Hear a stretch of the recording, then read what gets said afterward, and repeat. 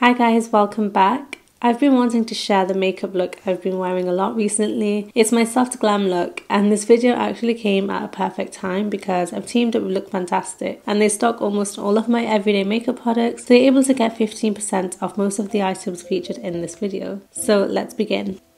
I like to use a moisturizer just before I apply my makeup. That way it almost looks a bit more seamless and my skin looks more hydrated. I'm using the Bobbi Brown Vitamin Enriched Face Base. This is really hydrating but it's not greasy at all so it is actually good if you have slightly oilier skin.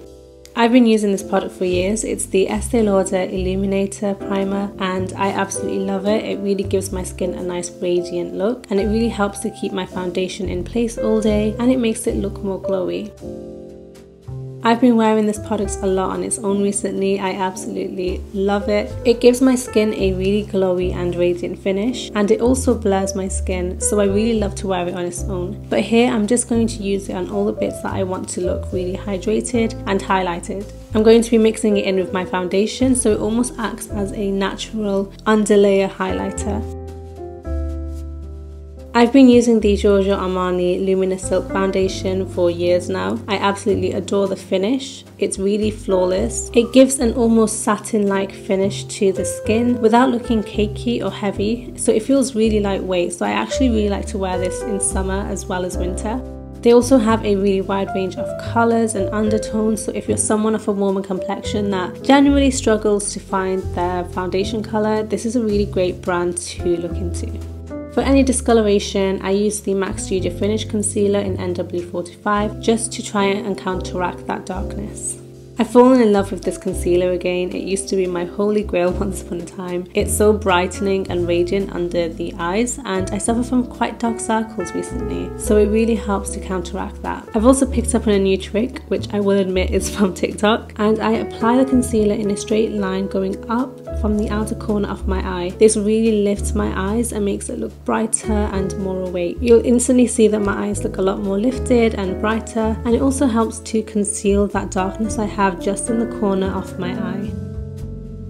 As I've put on quite a bit of concealer and I want it to have that holding power, last me through the day, I will set it in place with some powder. I'm using the Charlotte Tilbury Airbrush Flawless Powder. This is a really nice lightweight powder, it doesn't feel heavy at all. If you've been subscribed to me for a while, you would have seen this product already. It's my favourite bronzer of all time. It's a perfect tone, it doesn't look muddy at all, it looks really bronzy and glowy. And I'll just put this onto the hollows of my cheeks, around my jawline and around my temple. This will help to sculpt my face and just give me some cheekbones.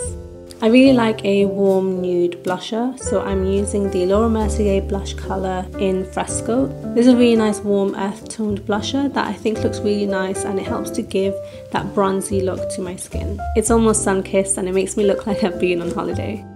Next up for brows, I'm using the Benefit Goof Proof Brow Pencil. I've used this for a long time because I have quite thick brows and this will help just to fill in the little sparse areas. Obviously being in lockdown, I haven't managed to have my eyebrows done. I've been trying to do them at home. I'm just going to try and add a little bit more shape to my brows without it looking too blocky.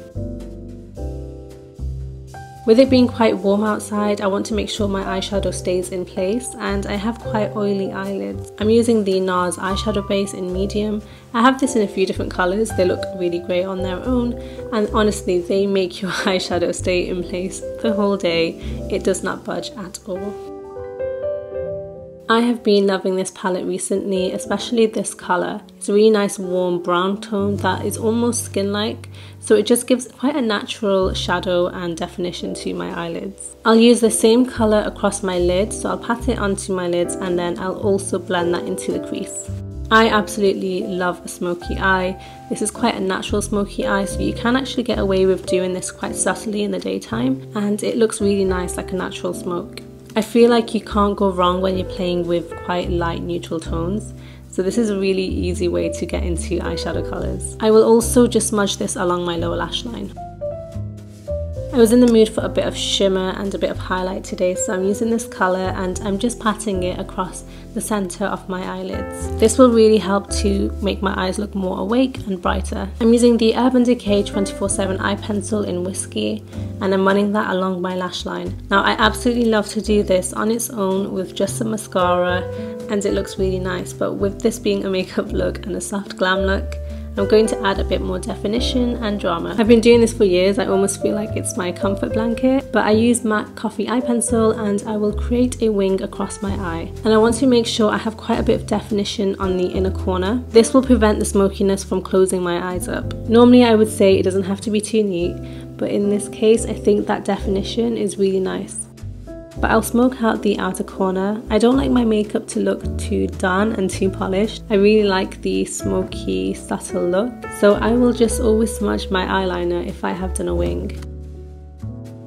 I can't believe I've gone so long without curling my eyelashes. This is quite a recent thing that I've been doing, but it really helps to keep my eyelashes looking more lifted. I'm going in with my favourite mascara. This is the L'Oreal Paris Paradise Mascara and I really love how full and how lifted they make my eyelashes look. I'm using the waterproof version as well so they're going to really have holding power for the whole day. It's not everyone's cup of tea but I really like to put mascara on my lower lashes too. This just makes it look really smoky. I'm then adding some definition to my lips. I'm using the Natural Collection Lip Pencil in Espresso. This is going to make my lips look fuller and more defined.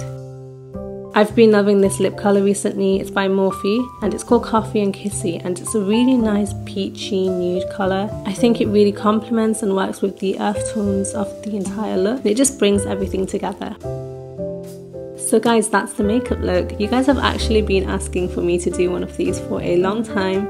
So I hope that you enjoyed this video. Let me know if you do recreate this look. I would love to see it. And I'll see you all in my next video.